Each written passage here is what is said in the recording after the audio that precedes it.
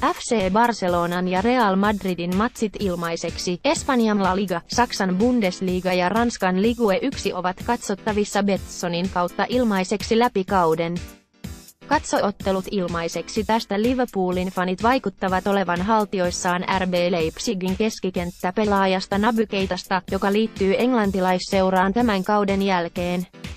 Guinealaisen Keitan 23 tuorein taidon näyte nähtiin Eurooppa-liigan torstai-illan 2-1 voittopelissä venäläistä Zenitia vastaan. Sosiaalisessa mediassa on hehkutettu pelaajan suoritusta ennen Timo Wernerin viimeistelemää kotijoukkueen toista maalia.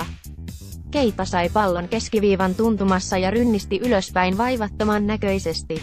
Sen jälkeen hän mursi Zenitin puolustuksen erinomaisella läpisyötöllään ja Werner nosti pallon verkkoon, Naby Keita on niin hyvä. Kuvitelkaa hyökkäävä keskikenttäpelaaja, keskimmäinen keskikenttäpelaaja ja puolustava keskikenttäpelaaja samassa paketissa, eräs Twitter-käyttäjä hehkuttaa.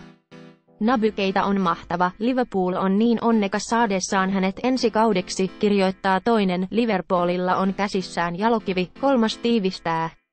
Lähde, Mirror liity jalkapallon olohuoneen sisäpiiriin, klikkaa itsesi Facebookiin tästä. Liity jäseneksi ja odota hyväksyntää FC Barcelonan ja Real Madridin matsit ilmaiseksi. Espanjan La Liga, Saksan Bundesliga ja Ranskan Ligue 1 ovat katsottavissa Betsonin kautta ilmaiseksi läpi kauden. Katsoottelut ilmaiseksi tästä.